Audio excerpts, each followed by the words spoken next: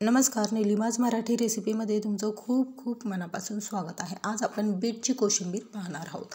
यासाठी मी एक बीट प्रथम गरम पाण्यांमध्ये काढून त्याचे बारीक काप करून घेतलेले आहेत. किसून घेतलेलं नाही किसलं की त्याला पाणी सुटतं. या पद्धतीने चॉपरमध्ये मी खूप बारीक काप करून घेतलेले आहेत.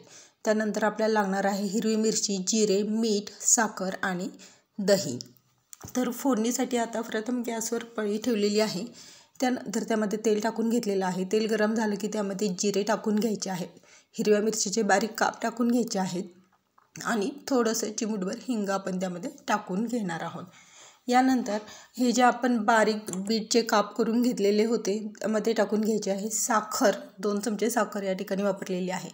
चवीपुरतं मीठ टाकून घेतलेलं आहे आणि त्यानंतर आपण जी हिरव्या मिरचीची फोडणी बनवली होती ती त्यामध्ये आपण वरतून टाकून घ्यायची आहे.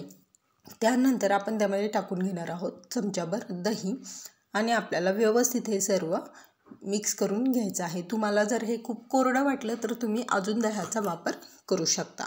त्यानंतर वरतून टाकून घ्यायचे आहे आपल्याला कोथिंबीर आणि पुन्हा हे सर्व आपल्याला व्यवस्थित मिक्स करून घ्यायचं आहे. चवीला खूप छान लागते.